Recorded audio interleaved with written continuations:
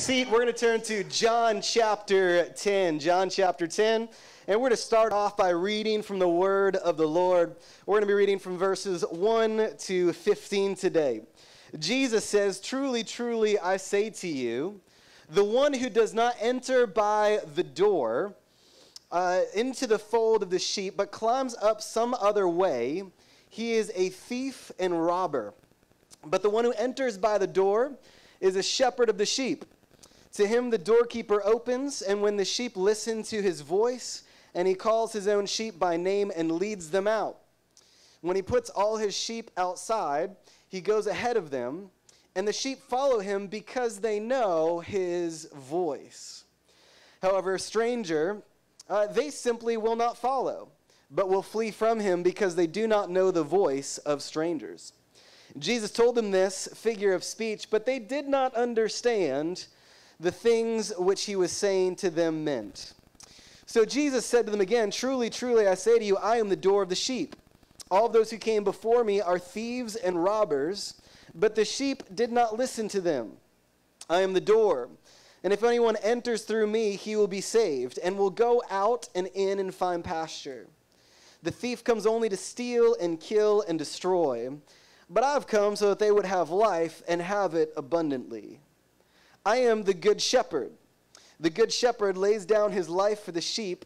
And he who is a hired hand and not a shepherd, who is not the owner of the sheep, sees the wolf coming and leaves the sheep and flees, and the wolf snatches them and scatters the flock. He flees because he is a hired hand and does not care about the sheep. I am the good shepherd and I know my own, and my own know me, just as the Father knows me, and I know the Father, and I lay down my life for the sheep. And so, Lord, today we ask that we would not hear the words of men, but that we would hear a word from the Holy Spirit. That we know that these are spiritual truths given to those who are spiritual.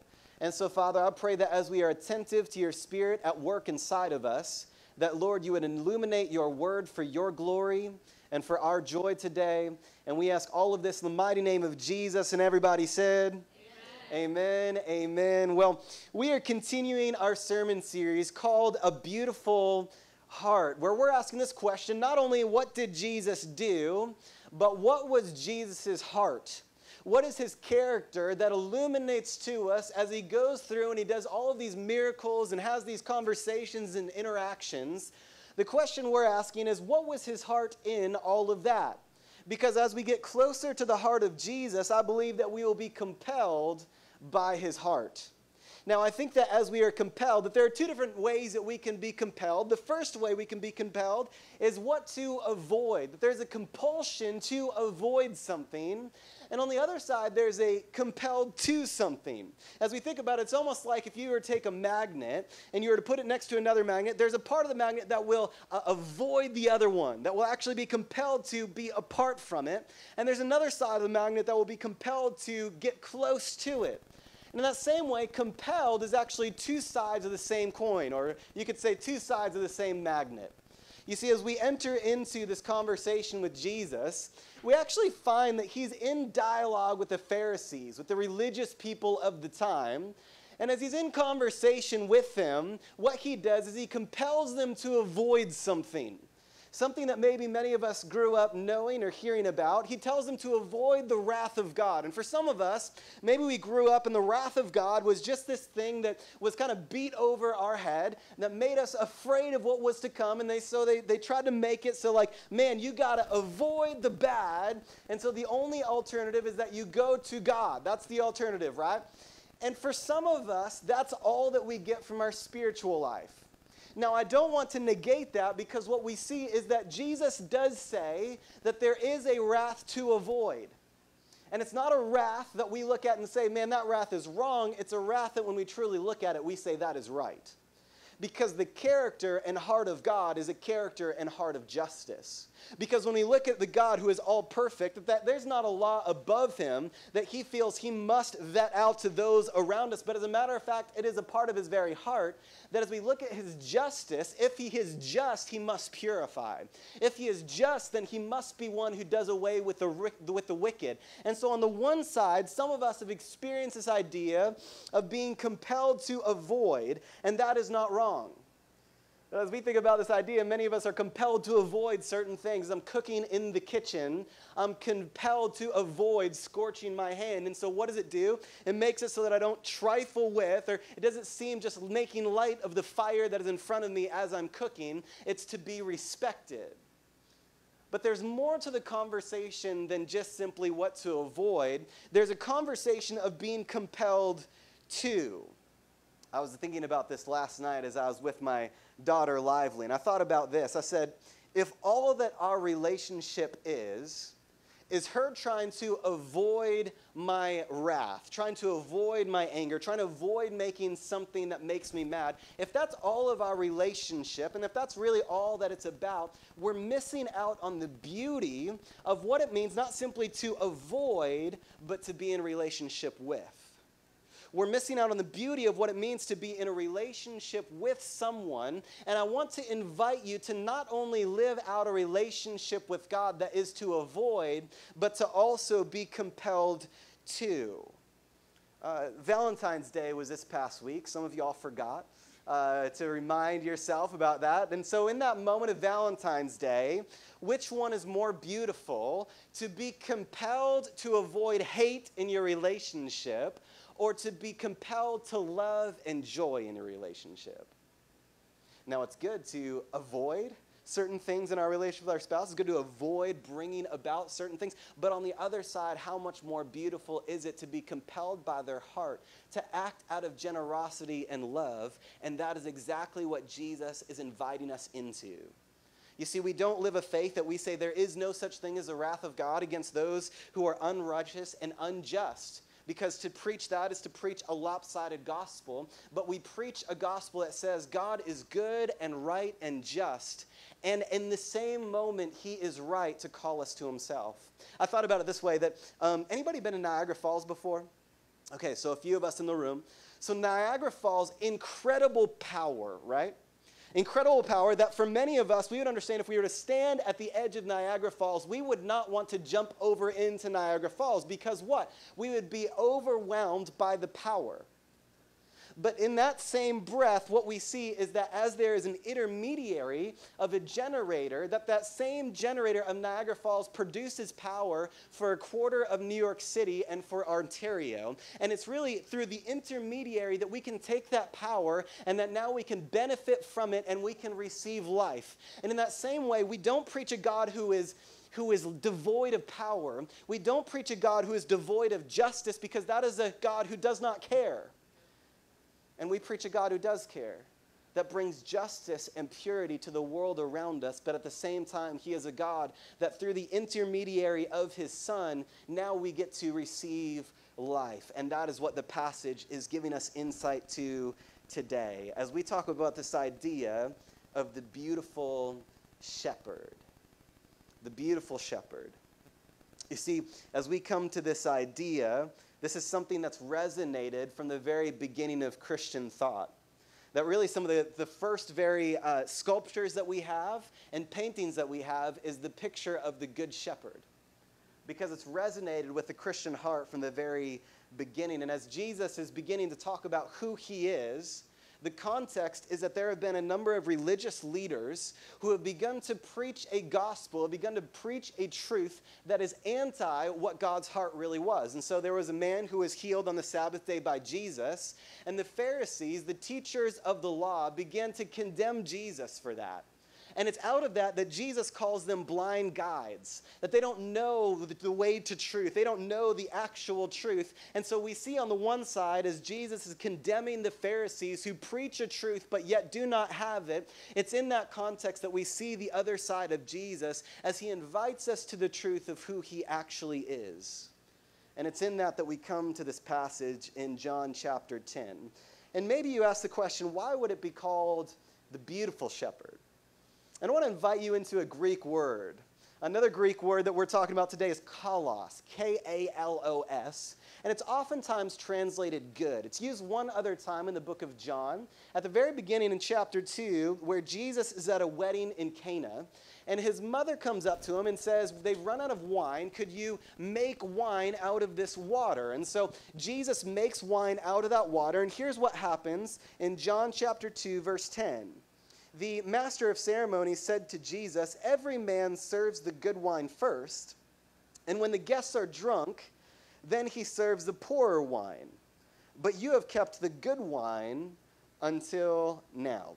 Now, for me, this illustration doesn't do much good. As a Wesleyan pastor, I've committed that I wouldn't drink, and so connecting to wine isn't something that I'm particularly fond of. Uh, I know that some of you, you actually might know something about it, and so for me, I'm going to put it in pastor terms, because for pastors, pastor's wine is coffee.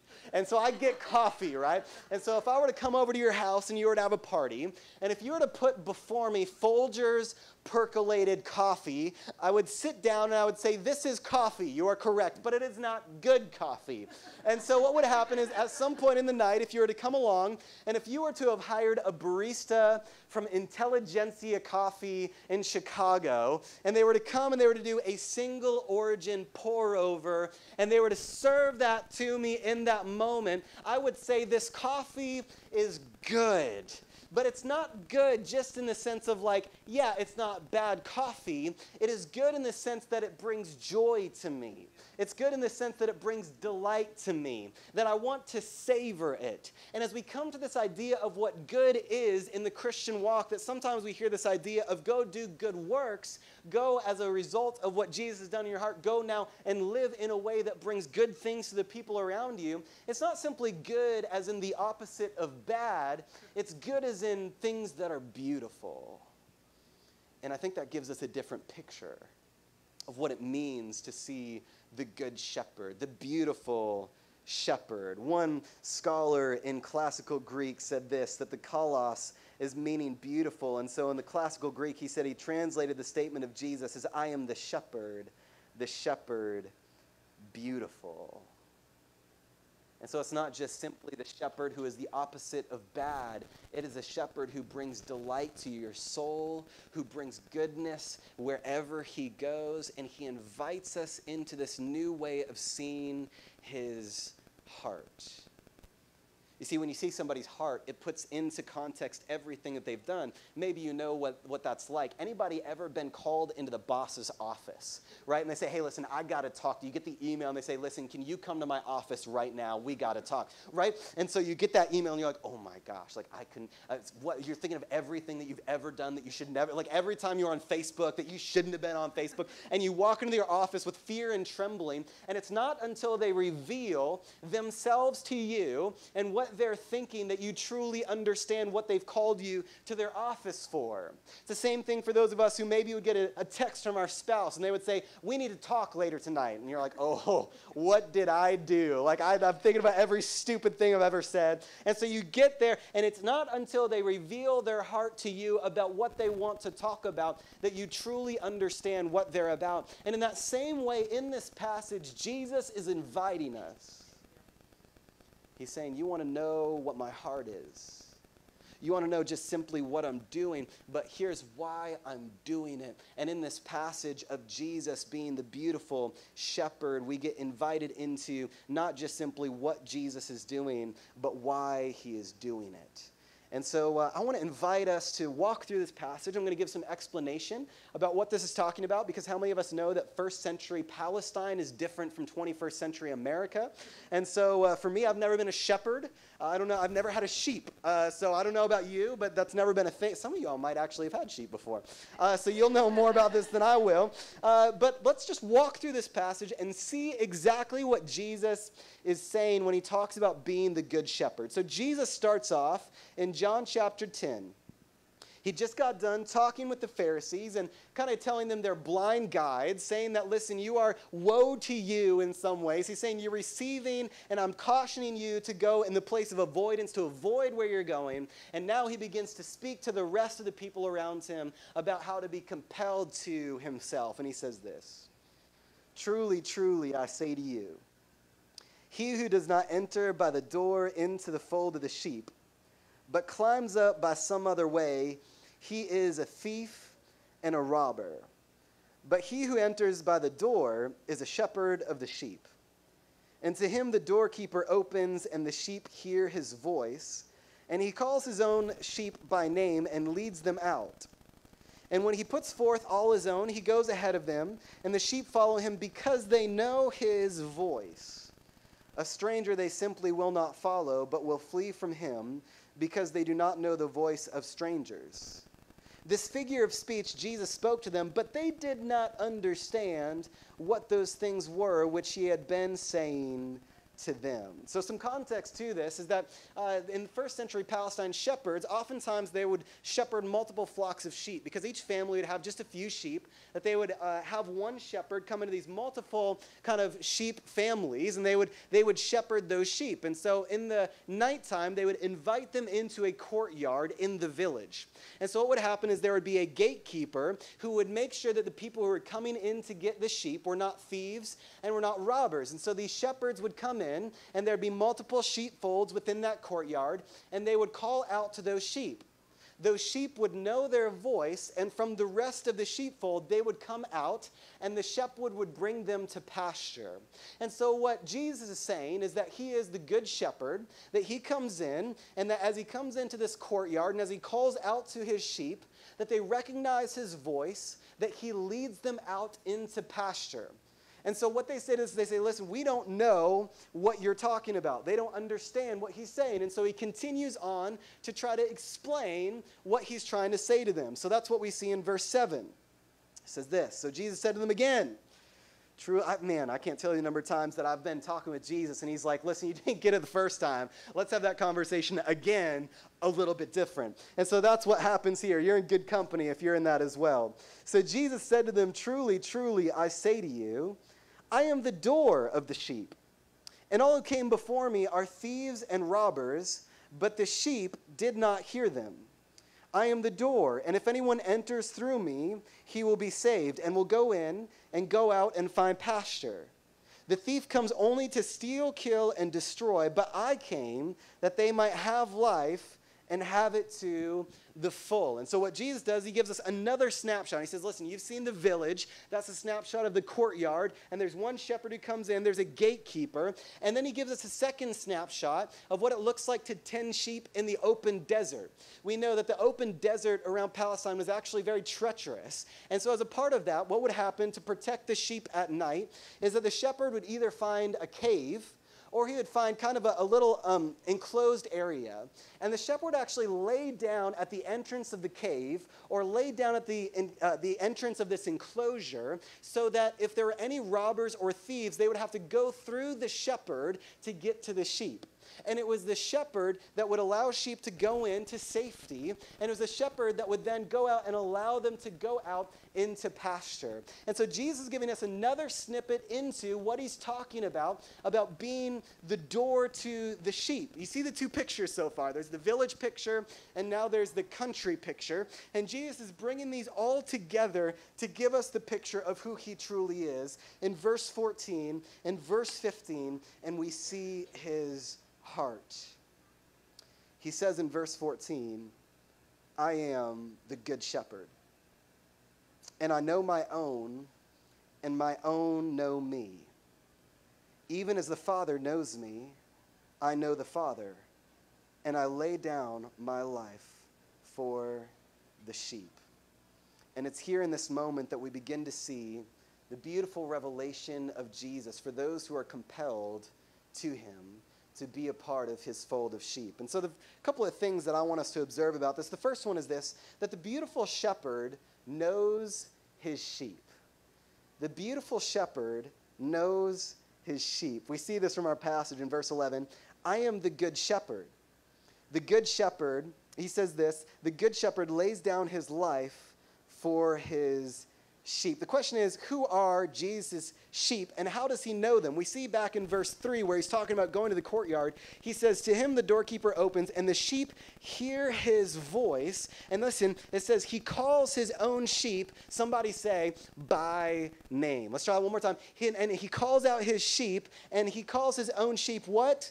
By name as I was thinking about that idea, I thought about um, going through my emails.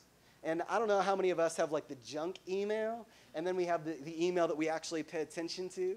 And so I have one email that's like my junk email. And in my junk email, I kind of do this I scroll through, I see if there's anything I want to open. Most of the time, there's not. And so what do I do? I check the box up on the upper left-hand corner that allows me to check off all of them to bulk assign them, right? Anybody know what I'm talking about? You ever done that before? You check off the box, and rather than have to go through, you just simply bulk assign them. I want to let you know today that Jesus does not bulk assign you to God.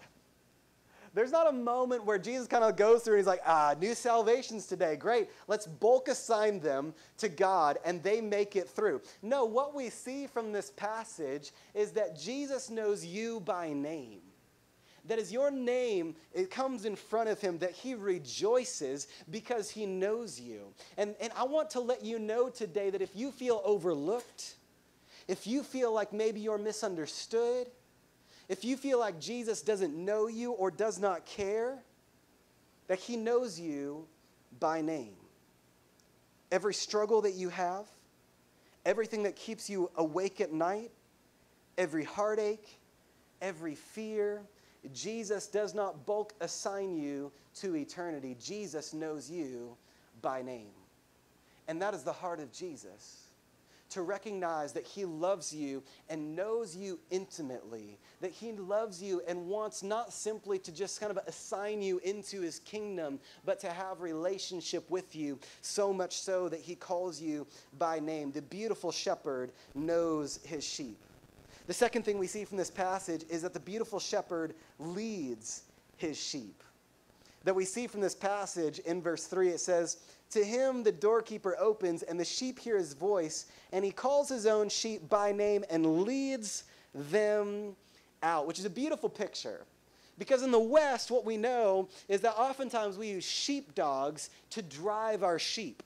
And so rather than being led, they are driven. And so we take these dogs, we train them, and they train to actually drive the sheep to where we're going. In the East, what would happen is they would call their sheep out and that the sheep would follow the shepherd. Sometimes the shepherd would actually have a flute of some sort that he would actually play a certain tune, and they would follow out to the flute their shepherd. And the beautiful news of this is this that God does not drive you.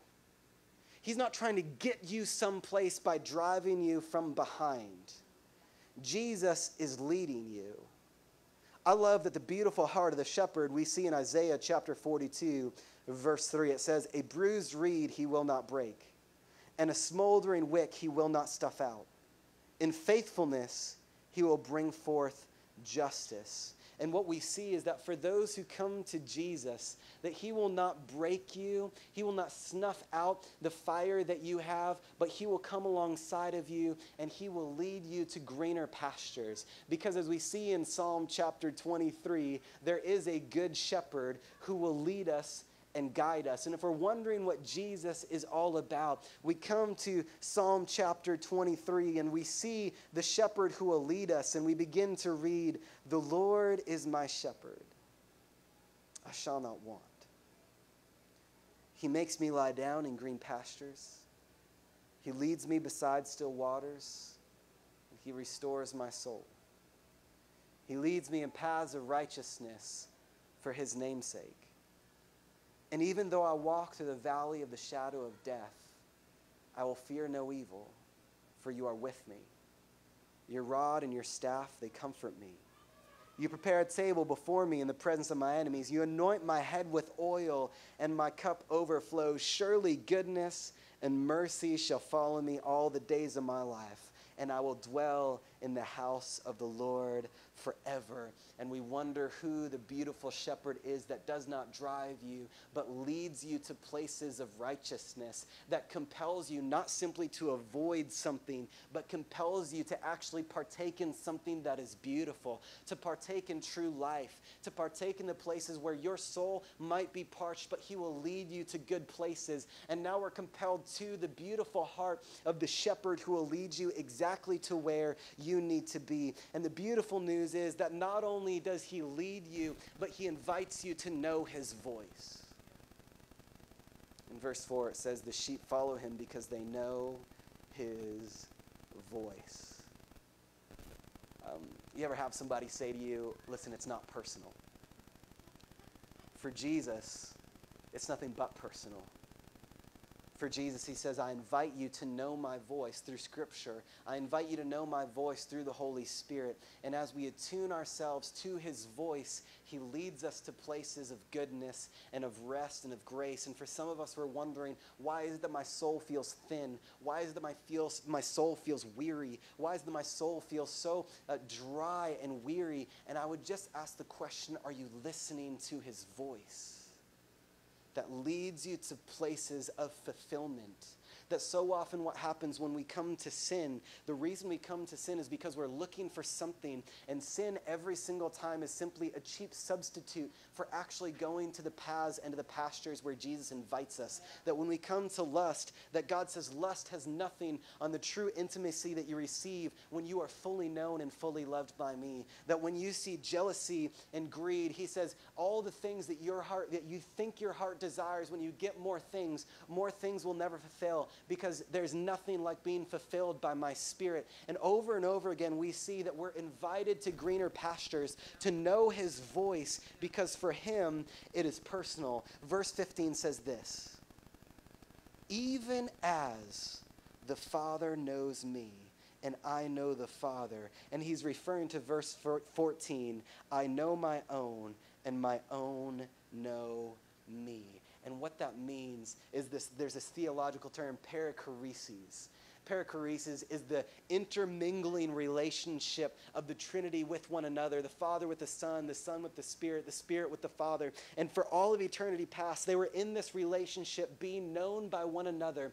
And God opened Himself up in the perichoretic life, and He invites you into that relationship with Him. And what I love is that God could have said, You want to know what your relationship with me is like? It's like a slave to a master.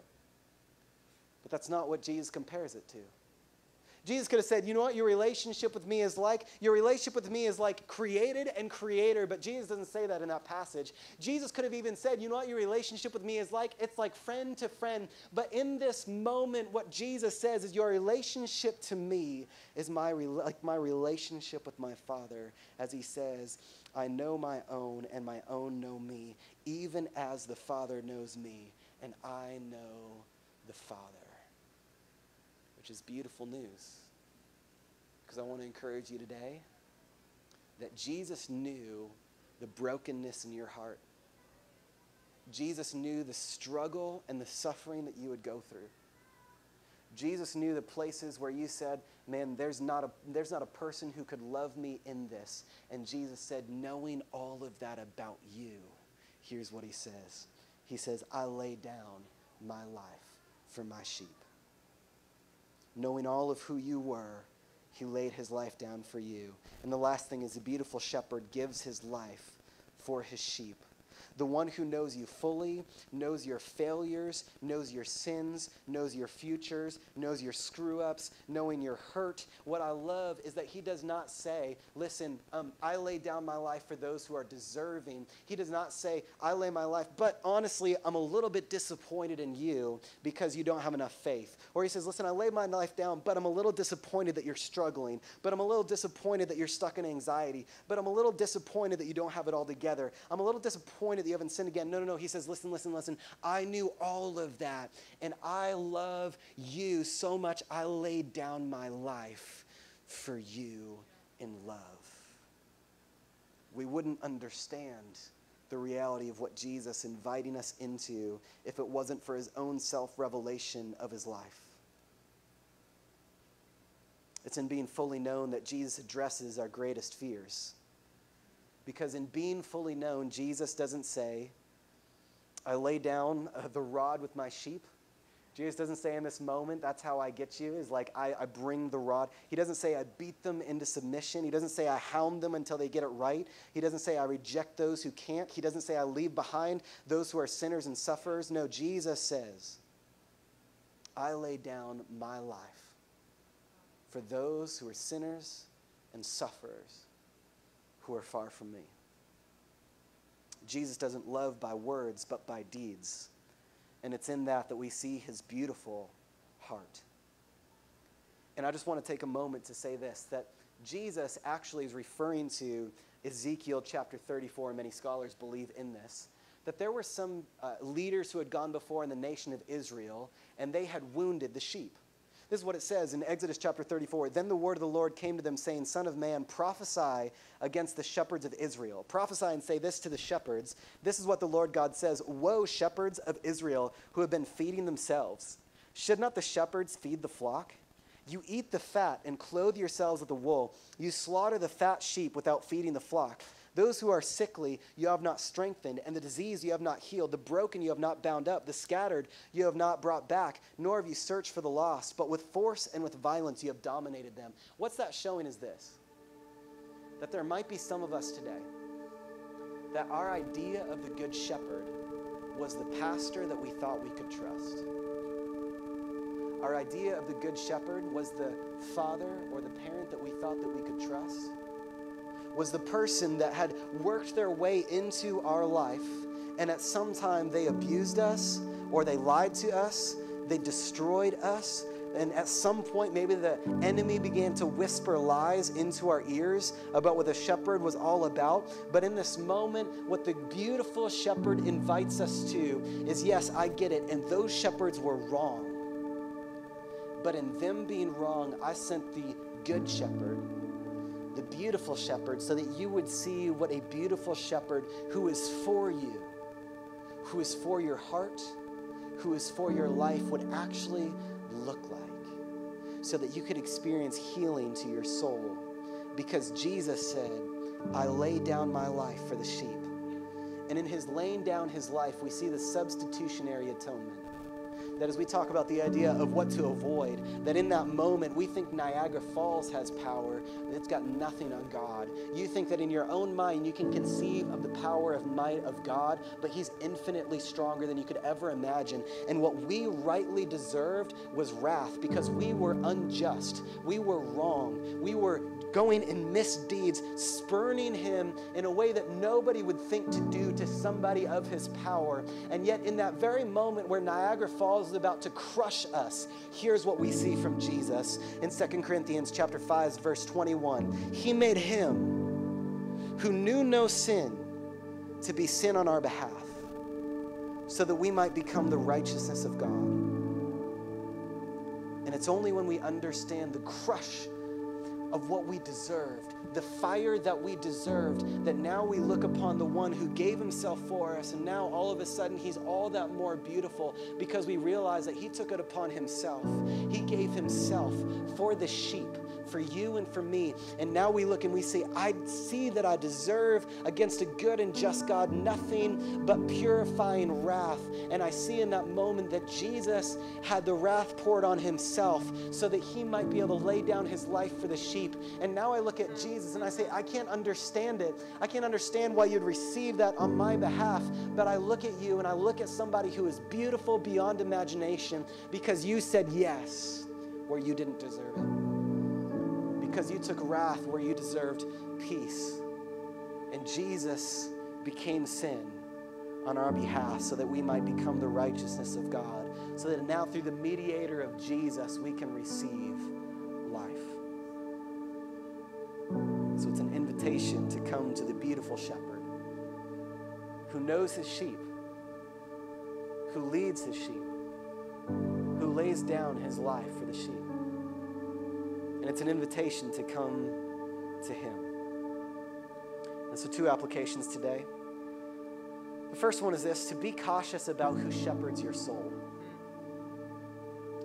to be cautious about who you invite into your heart to give places of your heart. That for some of us, we've allowed social media to shepherd our soul, or we've invited media to shepherd our soul. We've invited relationships that maybe are not right to shepherd our soul. And God is inviting us to kind of take a moment and say, Who's shepherding your soul? But the second and greater one is this to listen and to be led by the beautiful shepherd. Would you stand with me? Lord, we ask that you would give us a new picture of who you are. The one who from eternity on high was coexistent with Father and Spirit. And it was out of love that you created.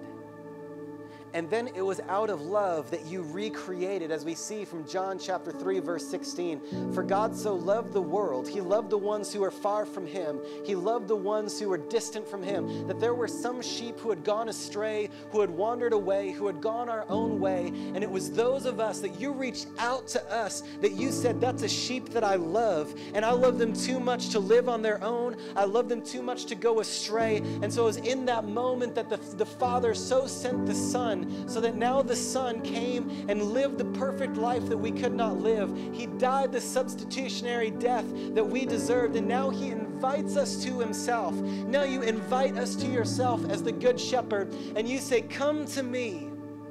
I've laid down my life for you. Be led by me to green pastures. God, I pray for those of us who have begun to listen to other shepherds, that we would begin to stop up our ears to those who don't deserve for us to listen, and that we would begin to have new ears to listen to the shepherd of the sheep. Lord, I pray that you'd give us new hope and new life to know that it doesn't matter what we've done, it doesn't matter where we've been, it doesn't matter the things that we've done in our past. The true shepherd of the sheep protects us from thieves and robbers. And so we pray against the enemy who is a thief and a robber and a liar. And we ask, Lord, that you would give us new ears to simply listen to the beautiful shepherd. Lord, we ask that the lies that we believe that you're not good enough, or you, God, wouldn't love you, or there's no way that you can make it, or because because you suffer, God doesn't love you. And instead, that Lord, in our suffering, we would look to the cross and say, I see the good shepherd who gave his life for me. And I know in this moment that there's nothing that can separate me from the love of God. Lord, give us a new picture of how you love us as a beautiful shepherd. And Lord, may the awe of your might and may the awe of your wrath give us a new picture of the love of Jesus who gave himself as he himself took upon the wrath of God for us. And now he says, Come to me, all you who are weary and heavy laden, and I will give you rest. May we find rest in the King of Kings and the Lord of Lords. And as a result of that, may we lift high your name in worship because we understand in a new way what you have done for us. You are sheep, your children who are invited to relationship.